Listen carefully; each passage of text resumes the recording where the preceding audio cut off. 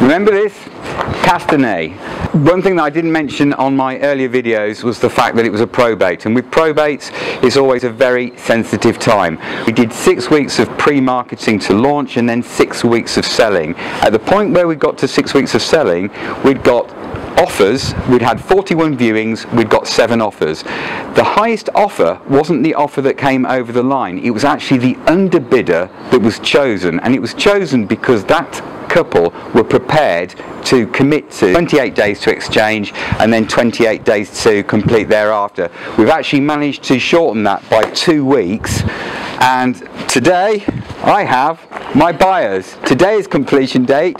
Today we get to hand the keys over and Tony Simon? Is that for me? It is indeed. Yeah. Swoosh. Jackie! Hi. Is that for me? Marvellous. Thank you very much. You're welcome.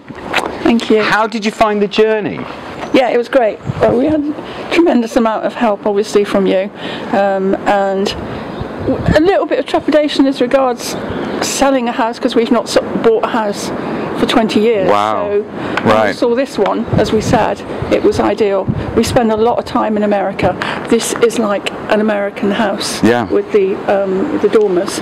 So yeah, it was great. And that's quite your interest, isn't it? The American, the American style.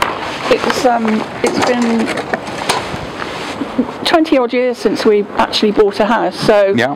in in in um, in conclusion, it's uh, within that short space of time, it was quite quite kind of you know tense for us. But it's been a great. experience. So did you did you actually find that quite scary? The thought of well, actually, we're going to buy this. Yes, You, you came back to look at it. Yeah. You had um, a home buyer survey. You looked at the home buyer surveys. You were realistic with it. You looked Yeah. at the points that they'd brought up, and then thought, okay, if we can get those addressed Yeah. in it's still inside that time frame, the, all of these things give you that added confidence. So yeah, it's uh, it's it's been stressful. yeah. Um, not something I'd want to do again. Um, so That's a shame. I don't get to resell it.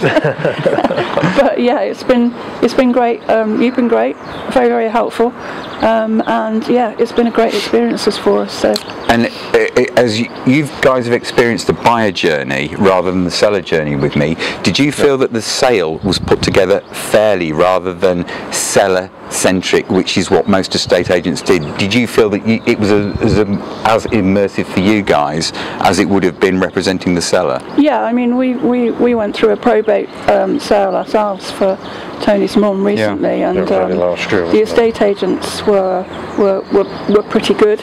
Um, the buyers weren't so good.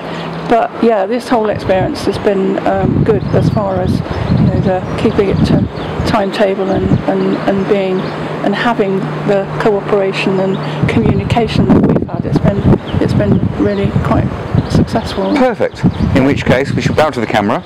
So arms in the line. so, to Yasmin and James, these are your buyers. Your buyers are now the owners of Castanet, and we were delighted to be of service. Thank you. Thank you.